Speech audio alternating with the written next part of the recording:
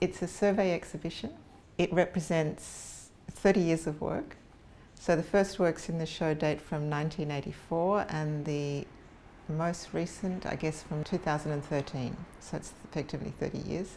It's more photographic than anything else, but there are some artist books in the show, there's video, and there's also some textile work. One of the things I resist all the time in talking about my work is the kind of demand to tell the story because I think it's the most obvious response for a lot of people is that my work is trying to tell stories about these people who have kind of lost to history. And I'm always trying to resist that because I think it's, again, it's more important to establish that there was a gap rather than to fill it in with a narrative. One of the bodies of work that's represented in the exhibition is um, it's work from 2003, and there was quite a lot of I made quite a lot of work in that year, and the the part of it that's in the exhibition is actually a relatively small part, but a very important part. So there are four artist books, which will be inside a case. You won't actually be able to handle them, and there's a reason for that. And there's also some photographic work that kind of belongs to the same project.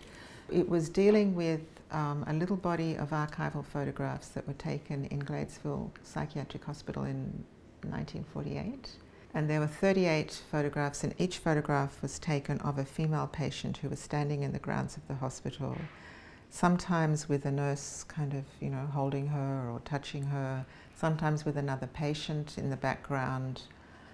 And their origin, apart from the fact they were taken in the hospital, is really obscure because all the information that would have once upon a time been available to go with them has all disappeared. So I got hold of those photographs. Um, they were at the time in the public domain, but they've since been taken away because they're considered to be um, patient records as well as photographs. And I made, after a lot of, you know, agonizing around what can I do with these images, what can't I do with these images, I finally made a set of four artist books.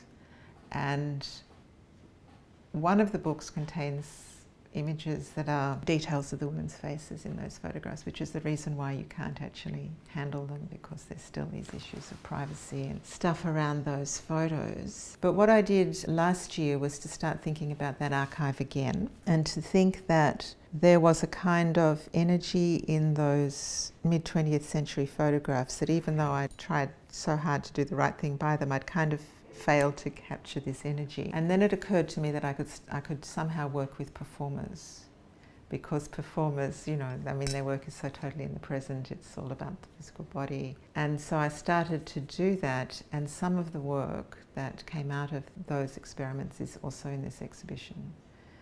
Yeah, so these photographs, which I had initially dealt with by cropping them and using the cropped details of them, and I then, like this completely different approach, which has for me been really liberating actually, to work with the performers with these lengths of felt. Yes, like to harness their energy and their way of working, mm. which I don't have much control over really. I mean, I can tell them hold it up, but we did these other photographs where they actually just kind of improvise underneath those lengths of felt. Mm. And whenever I think that the image, you know, is doing something, I take the photograph. How do you arrive on the lines and the shapes of the? Those were derived from the patient's clothing. So it's either the seams or it's where they, you know, they join. And of course, you know, all of those pieces of felt, I dyed them so they would be what I consider to be kind of institutional clothing colours. I was really struck by the way the things they wore in these photographs, where they were wearing jackets and things, you could see how they'd been felted by, you know, so much kind of wear and use and bad washing. And so I just kind of did something with that. So these, those things to me are kind of a bit like surrogate bodies, but they also have this really, you know, strong reference to, to their clothing.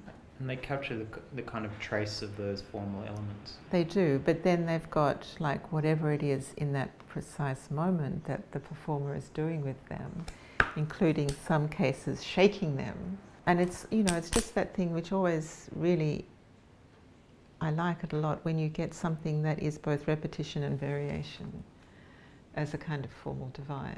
That always works for me. That sounds like this the spool of film though as well, doesn't it? Yeah, yeah, it is, and it, and it also yeah, of course, it looks you know it looks like that.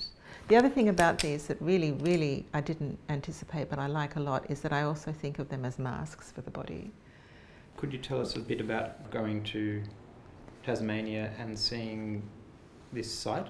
The history of this site that I'm really interested in is the way it was for a period in the late or mid to late 19th century, it was a, the site of a prison for female convicts. So if you were a convict in Tasmania and you did something else bad, they put you in prison. And one of the reasons that women were often imprisoned was because they got pregnant, because you weren't allowed to get pregnant if you weren't married.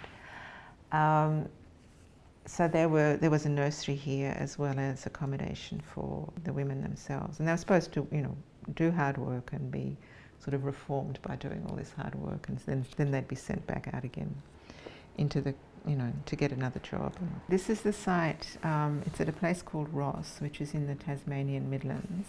So when you go there, I mean, it's changed since I photographed there. Apparently, they've now got you know more signage and more interpretation. But when I went there, there was almost nothing. So you'd walk over this ground, and it was it was a sheep paddock. I mean, sheep were grazing there, so there were the little pellets and depending on the season, the grass would be chewed right down. And the only thing that was there was that could kind of suggest that it had this particular history was in one end of the paddock, the ground was really uneven. And on the other end, there was one place where there was, you could see there was a mound, and at one end there was a, a stone that you presumably was the entrance to a building. So that was it. Mm. So I photographed those things, but I just photographed the ground generally. And when I started photographing, I was always looking down. But then I went back, you know, like over a few years, taking more very similar photographs. And in the end, I gradually started looking up and including in some of them a little bit of the horizon. And you can actually, you know, you get more of a sense of the location. You can see that, you know, if you look in the, in the actual images, there's a fence. And, but still, the majority of them are a view more like that, where you look down at the ground. And so there are 30 of them, which unfortunately there won't be 30 at the ACP for space reasons.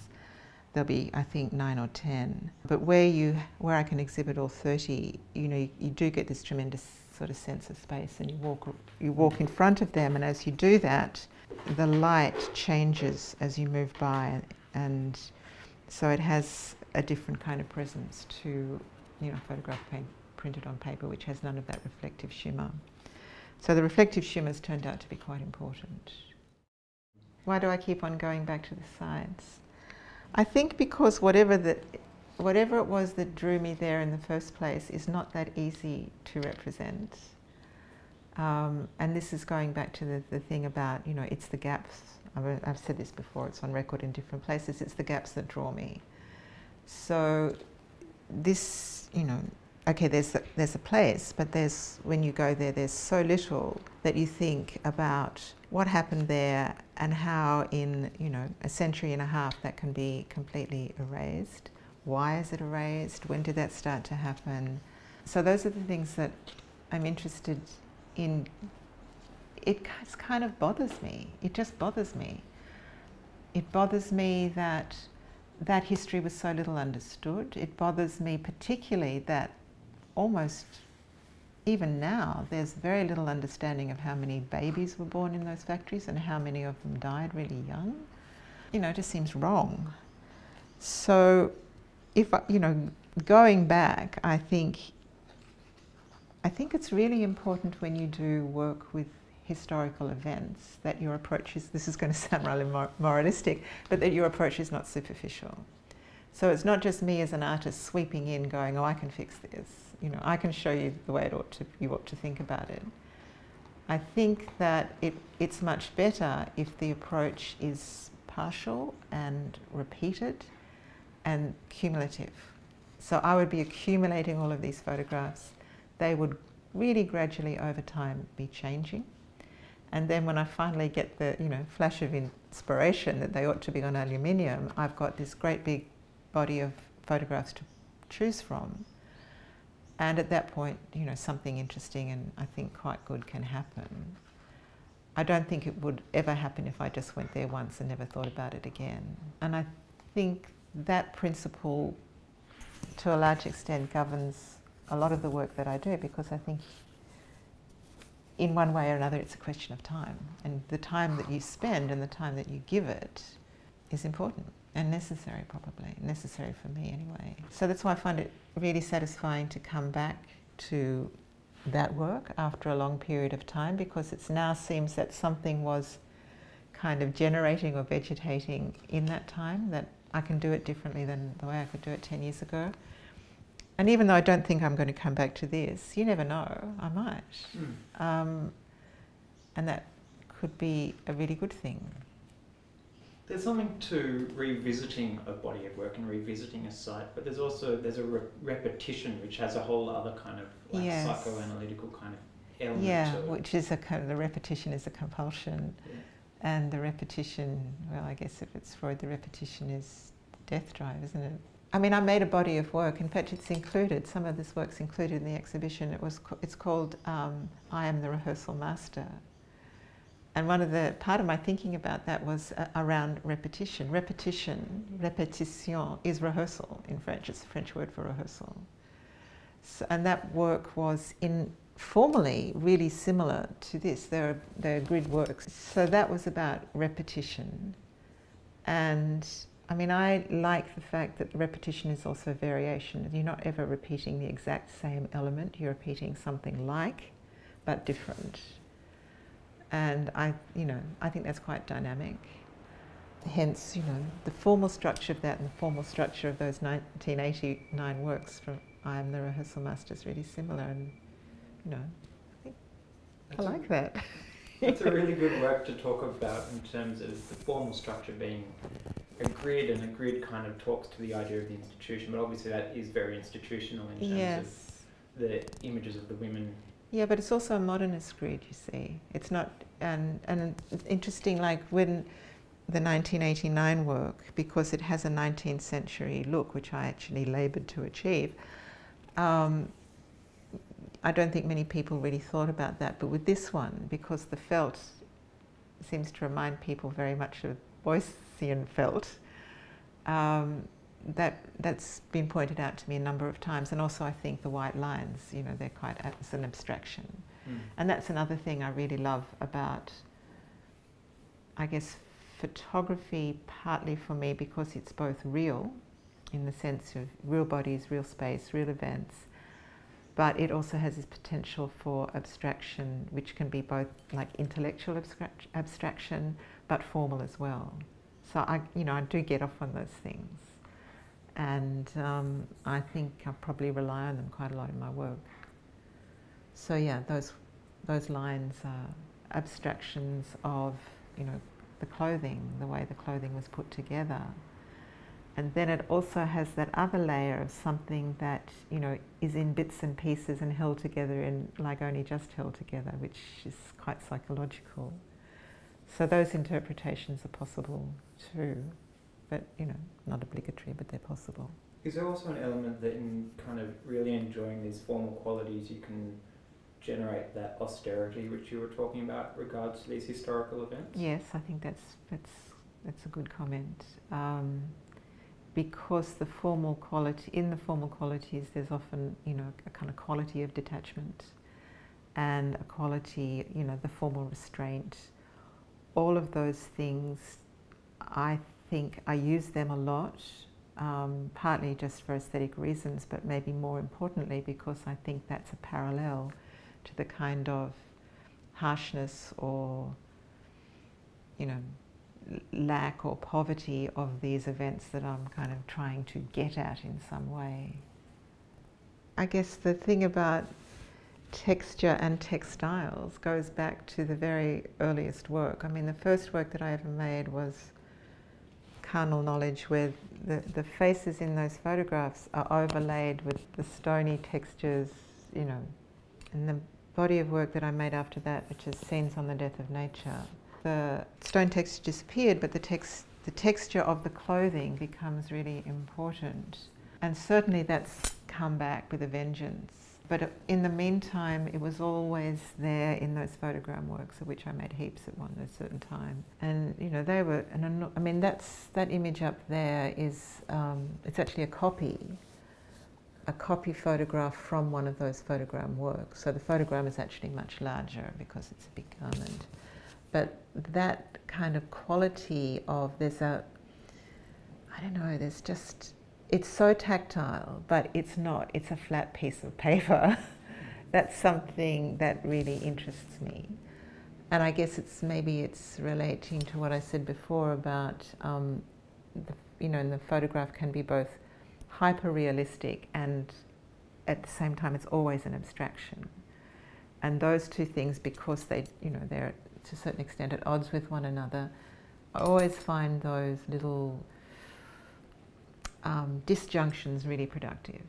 So you can, you know, that's not a bad example of something that has tremendous illusion of three dimensionality, but it is a totally flat piece of paper. And to be able to make that, and it's a very photographic process as well. It's like pure photography. You just put the thing down on the photographic paper and shine a light on it, and it's done. I think that's what fascinates me. I mean, if you think about, I mean, that and everything else, if you think about the the surface and then the inability to have the surface through the photograph, but then also the photograph being this kind of evidence maker or this kind of thing located at so much so much specific time, but then as you say, you kind of you're not filling in that gap of time, you're kind of walking around it or Yeah, but maybe by analogy, by kind of working even if you're just working around it, you're working around it quite hard. And sort of, you know, an analogy I've used before is like embroidering the edge of that gap. Just by doing that, I think you suggest that there is something there worth attend attending to. And that's probably, you know, really all I'm trying to do is to enhance something um, that interests, you know, that really interests me.